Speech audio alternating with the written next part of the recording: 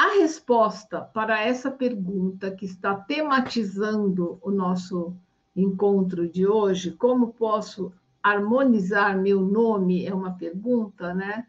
Ela tem muitas respostas. E eu estou aqui para dar a minha resposta, que é a minha forma de fazer isso e a forma que eu ensino para os meus alunos. Então, você tem duas vias para ter contato com o seu mapa. A primeira é a mais fácil, em que você está numa situação meio passiva, digamos assim, você solicita o seu mapa para um profissional. Na segunda situação, você vem fazer um curso de formação e você vai fazer o teu mapa. Você que já assistiu às aulas da imersão e entendeu direitinho os seus seis números fixos, né? O seu código numerológico, seus números, seus seis números centrais, principais, você entra para o curso de formação e você aprende a fazer um mapa numerológico cabalístico inteirinho, chegando inclusive na harmonização do nome. Primeiro de tudo, a gente tem que se apropriar dos nossos números. Não tem número ruim, não tem, não tem número bandido nem número mocinho. Sim, existem dificuldades que precisam ser trabalhadas, mas existe muito número mal expressado ou que não está sendo expressado. Aquilo está quase que zerado e muitas vezes até zerado. A pessoa não vive aquele número mas na medida em que você fala fulano, você, sei lá, você é um 11, você tem uma expressão 5, você tem uma motivação 8, se você percebe que a pessoa não está usando aquela energia do número. Eu aprendi que a pessoa que eu estou fazendo o mapa, o meu consulente, no caso, ele vai me ajudar muito. O trabalho de harmonização começa com alguma coisa que não está no compêndio da numerologia cabalística e é muito importante. Chama-se um relato do momento que aquela pessoa que você vai fazer o mapa está passando. Tem gente que pede o um mapa aqui para mim, por exemplo. Aí você fala: olha, estou te mandando um formulário, eu quero que você me responda isso, por favor, comente sobre o seu momento atual, quais são as suas expectativas em relação a esse mapa. E tem gente que fala assim: olha, é, eu prefiro não responder, vamos ver o que você tem para me falar. Eu acho que as pessoas acham que quem faz um mapa numerológico tem uma bola de cristal, né? Ou olha a, a borra do café, alguma coisa assim, e fala assim nossa, estou vendo aqui. E não é isso. A numerologia, ela não é adivinhatória. O diagnóstico é assim. Na hora que você abre o mapa, vem tudo.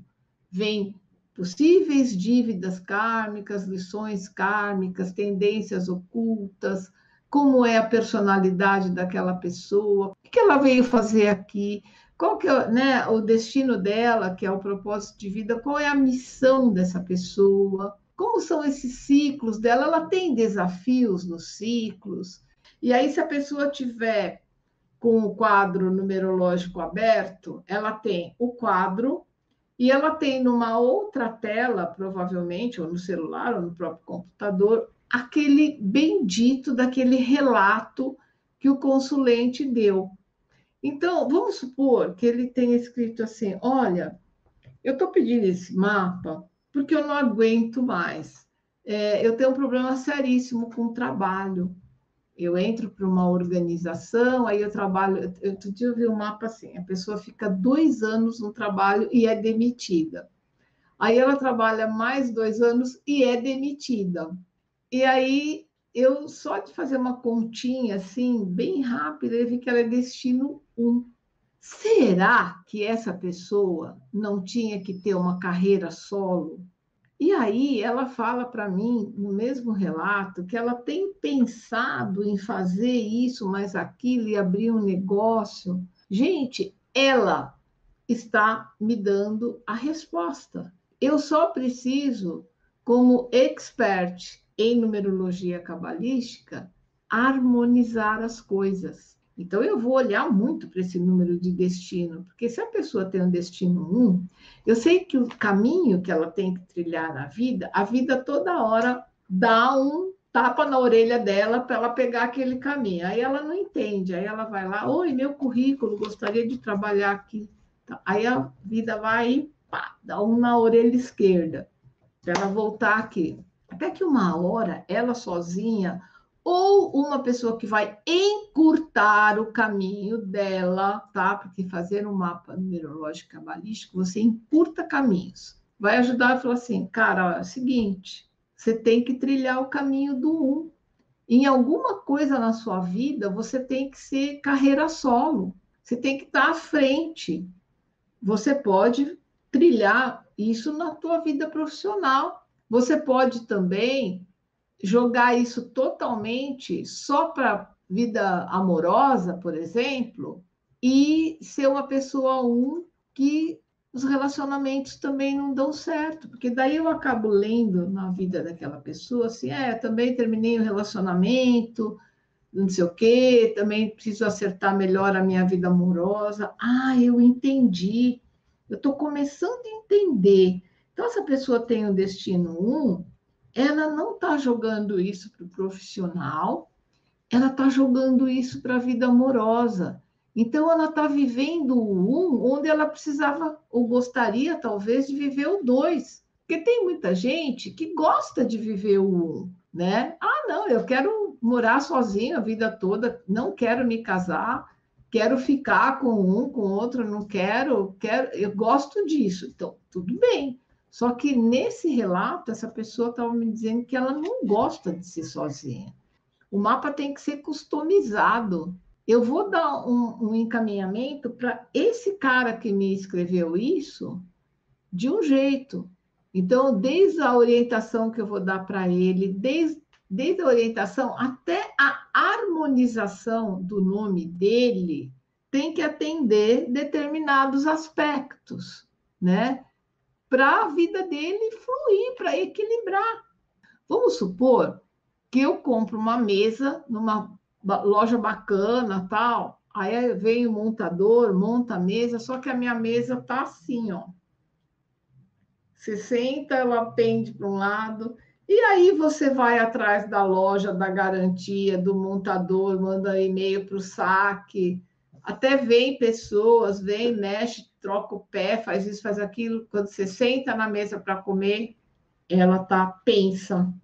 E aí, alguém te fala de um tiozinho que conhece tal, esse cara é o cara. Aí o tiozinho vem e às vezes ele coloca um pezinho, alguma coisa quase que imperceptível, como se fosse uma pastilha muito fininha embaixo de um determinado pé, aquilo não é visível, nada, e sabe o que acontece? A sua mesa se estabiliza. E você tem vontade de abraçar o tiozinho, porque ele resolveu o seu problema. Então, quando a gente harmoniza um nome, a gente olha para toda essa situação que aquela pessoa tem e a gente resolve ajudá-la criando uma nova expressão para aquela pessoa. Nós trazemos para essa vida seis números. Esses números a gente nunca se, se desfaz deles, eles continuam com a gente a vida toda, inclusive a nossa expressão original. Mas, com a numerologia cabalística, nós somos capazes de gerar um sétimo número.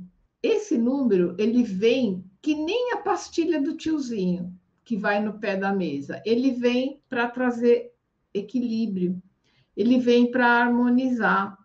Vou mostrar para vocês, então, aqui como era o nome da Érica é, antes dela conhecer a numerologia cabalística e como ficou o nome dela harmonizado com uma coisa muito simples. Eu, analisando os números dela, vi que a Erika tem muito um. Ela nasceu no dia 19, no mês 10 e num ano que soma um também. Então, só na data de nascimento dela, ela já traz um, um, 1. Né? Então, tá, é um destino 3, mas os três componentes da data, 1. Só o, o 19 e o 1 já são muito, o 1 do 10, né, já são muito fortes. Pelo nome original dela, ela trouxe também uma expressão 1 não era exatamente o relato que eu falei do meu cliente anterior, mas não era também muito diferente a história da Érica com a questão de trabalho e outras recorrências na vida dela, né? E ela tem o destino 3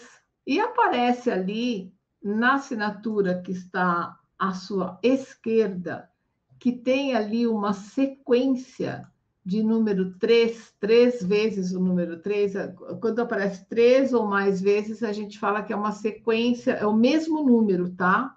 Eu, na época, ainda fazia atendimento presencial, né? Eu perguntei para ela como que essa sequência de três bloqueava a vida dela. Como ela tem uma motivação 7, e toda pessoa que tem uma motivação 7, ela é meio quieta, assim, meio, estou te observando para depois chegar a uma conclusão, eu percebi que ela era um pouco mais tímida, assim, reservada. Então eu falei para ela: "Como é que você se vê assim? Você tem problema para falar em público?"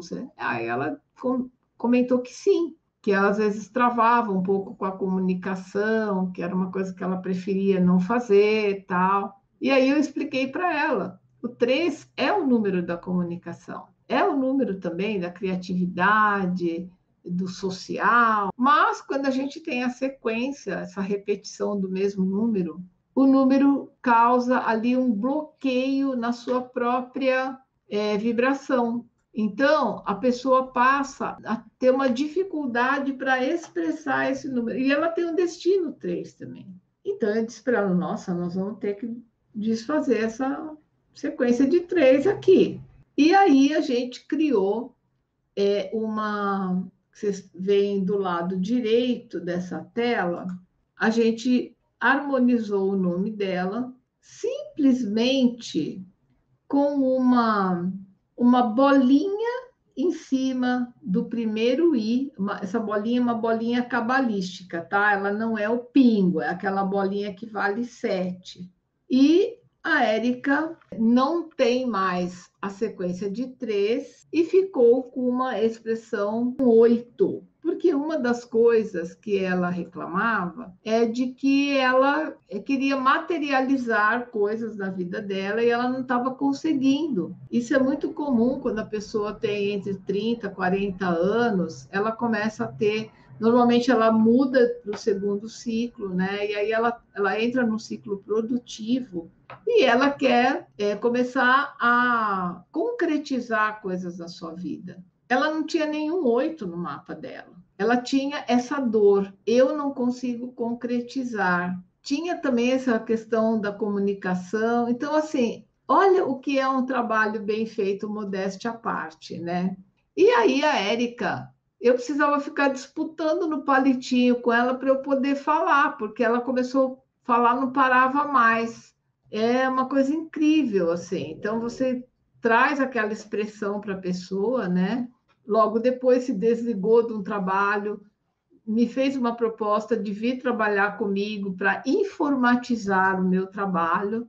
A gente criou um trabalho tão bacana, assim, eu vi quanto ela era competente. Aí ela me fez uma proposta para ser minha sócia, tal, e foi assim que a gente mudou totalmente, é, eu mudei totalmente meu trabalho, a forma de processar as coisas aí na numerologia, e ela pode-se dizer que mudou até um pouco de personalidade. Então, essa expressão original que ela trouxe, ela nunca perde. Quem convive com a Érica sabe o tanto que ela é expressão Aqui ela é a diretoria do armazém da energia, né? Ela brinca que ela é a secretaria, mas ela é a diretoria, entendeu? Ela nunca vai perder esse um. Só que esse oito veio para complementar várias coisas faltantes na vida dela, né? E, e também ela trouxe uma, uma dívida kármica 16, além da 19 do dia do nascimento, uma 16 oculta, é, no número de motivação, né? Então, quem tem uma dívida kármica 16 tem umas perdinhas assim meio complicadas, né?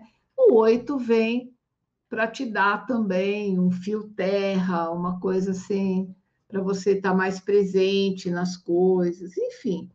Então, é um trabalho, gente, que é personalizado. Eu falando assim para vocês, vocês devem estar tá achando que parece um puzzle com 5 mil pecinhas, né? para montar. E não é, tá? Beleza, então, gente, muitíssimo obrigada por vocês estarem comigo aqui. Amo vocês, gratidão, tá bom? Beijinho, então.